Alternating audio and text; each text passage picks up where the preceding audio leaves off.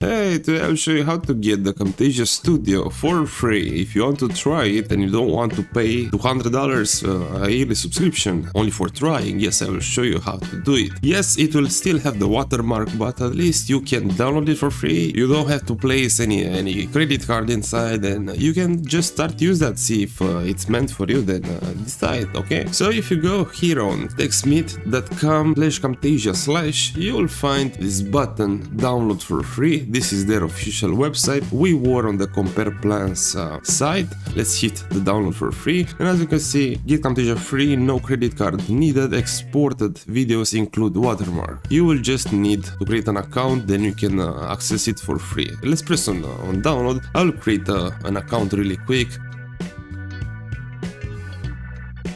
And as you finished uh, in creating your account, the installer just started to download. As I told you, you don't have to place any, any card inside. If you created an account and you sign in into that account once you install Camtasia, then you can you can use it for free and see if uh, it's meant for you or not. Your videos will still have the watermark, yes, but hey, you can try it for free, so who doesn't want that? And here is the, the installer which I just downloaded. Let's open it. Uh, I will select English. Yes, I will accept the license terms and the privacy policies, I will want this folder for installations and I will press on install. And I will get back to you once this is, uh, this is over.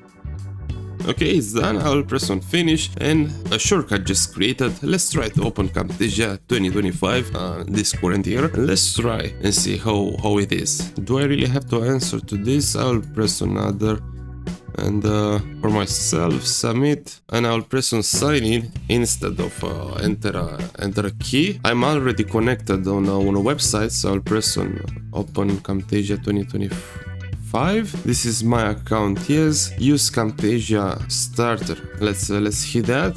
That's a good limited offer, but now I'm not uh, I'm not interested. And I will press on close window. And now I'm free to do my stuff press on create new project and from now on I can start using Camtasia. It open up, I have a video on my desktop, let's import this here so we can uh, create something really quick to have to have a guess on uh, on the watermark and how it looks like. So I will I cut this video in a, in a 7 seconds uh, format. Alright, I'll press on export local file. Export with watermark, leave it on desktop please and let's press on export and it was pretty quick.